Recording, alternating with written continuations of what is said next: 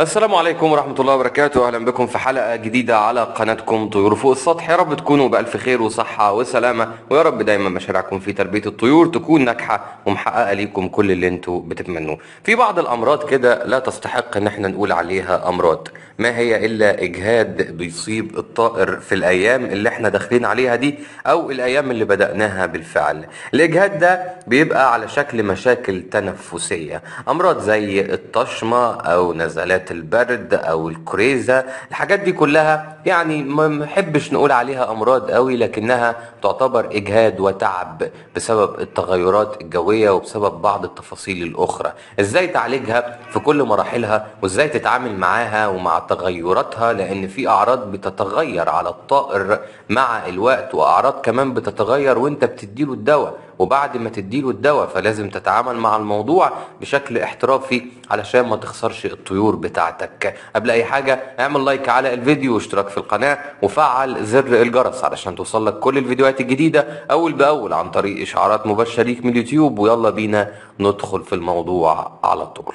أول سبب بيتدخل في الموضوع ده وبيخلي فيه أمراض زي الطشمة أو نزلات البرد أو الكوريزا هو الهواء المفاجئ. يعني إيه الهواء المفاجئ؟ يعني دلوقتي الطائر يبقى قاعد مثلا في جو متقفل عليه. انت مقفل عليه العشة الهواء اللي بيدخل له قليل واللي بيخرج من العشة قليل. وانت مقفل مثلا علشان خاطر الظروف اللي فاتت بتاعة الصيف والشمس والكلام ده كله وانت خايف عليه من الشمس. تيجي على غفلة كده حضرتك ومش بالتدريج زي ما قلنا قبل كده في فيديوهات سابقة على غفلة تفتح العشة كاملة. تمام؟ وتخلي الهواء يدخل على الطائر بشكل كامل رغم إن إحنا حذرنا كتير إنه ما ينفعش حضرتك لما تيجي تتحول من الصيف للشتاء أو بوجه تحديد ودقة من الحر للبرد لما تيجي تتحول من الحر للبرد ما ينفعش تحول التهوية عندك بشكل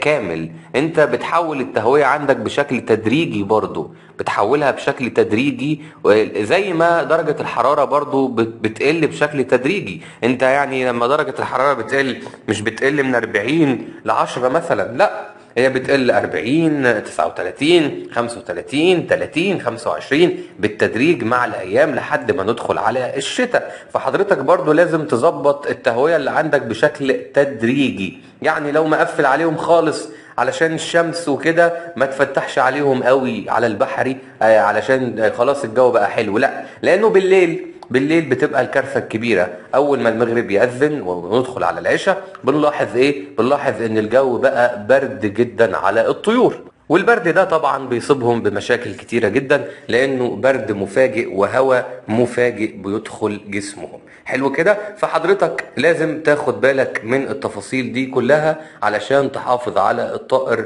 من أمراض الطشمة أو نزلات البرد أو الكوريزا تمام؟ لأن البرد المفاجئ ده بيقلل المناعة. لما بيقلل المناعة بيخلي الطائر عرضة لأي عدوى وحتى لو مفيش فيروس حواليه بيبقى الطائر عرضة لأي ضعف. نتيجة قلة في الأكل أو نتيجة أكل غلط أو نتيجة سموم في العلف أو نتيجة أي حاجة موجودة حواليه.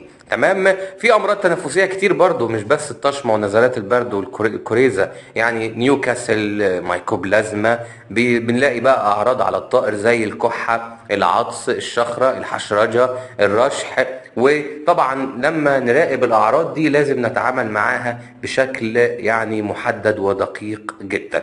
لو حضرتك لقيت الكحة والعطس والشخرة والحشرجة والرشح مع أمراض زي مثلا نيوكاسل أو المايكوبلازما لازم على طول تنزل بمضاد حيوي.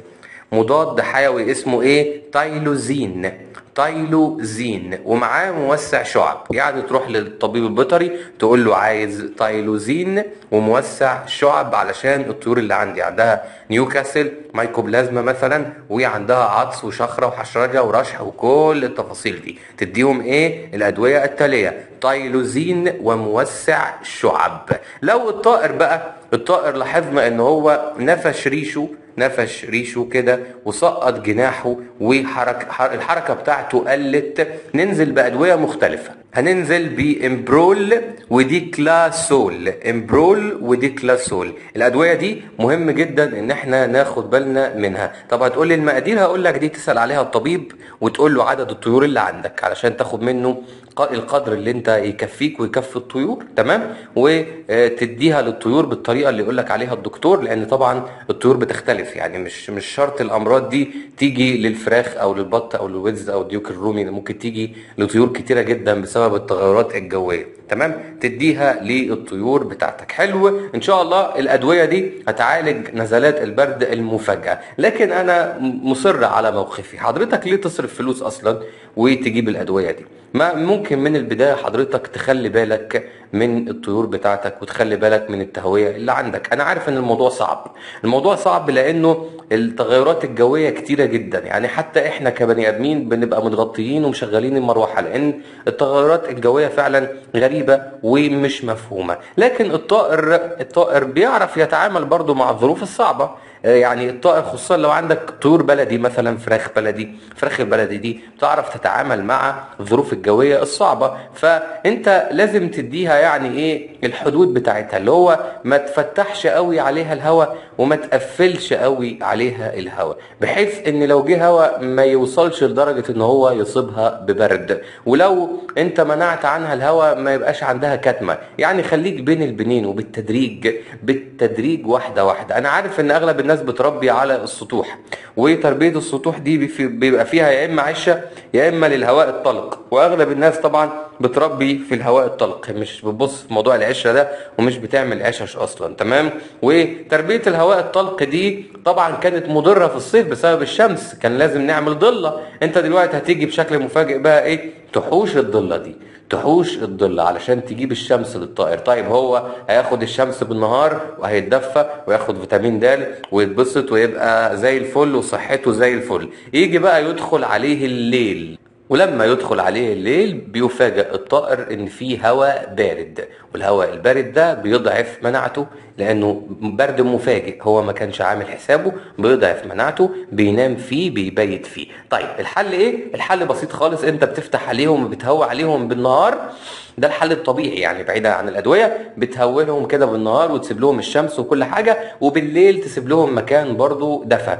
مكان ما يكونش فيه تيار هواء مباشر. أي ركنة كده تضللها تقفلها بشكل ما يكون فيها تهوية خفيفة. يعني يدخلها هواء ويطلع منها هواء لكن مش بشكل مباشر. ما يخبطش فيهم الهواء بشكل مباشر. زي ما قلت لك زمان مصطلح التهوية المباشرة. إحنا مش عايزين تهوية مباشرة. عايزين تهوية غير مباشرة بحيث انه بقى هم قاعدين في مكان بالليل. بالليل مقفول عليهم وفي هواء داخل وهواء خارج بس مش بيخبط فيهم بشكل مباشر. يبقى شبابيك من فوق كده. شباك يدخل هواء وشباك يخرج هواء إنما الهواء يخبط فيهم بالليل في, البرد يبقى أكيد هيتعبوا ويجي لهم نزلات برد. ده كان الفيديو. ما تنساش تعمل لايك على الفيديو واشتراك في القناة وتفعل زر الجرس ونشوفك على ألف خير في حلقات جديدة. والسلام عليكم ورحمة الله وبركاته.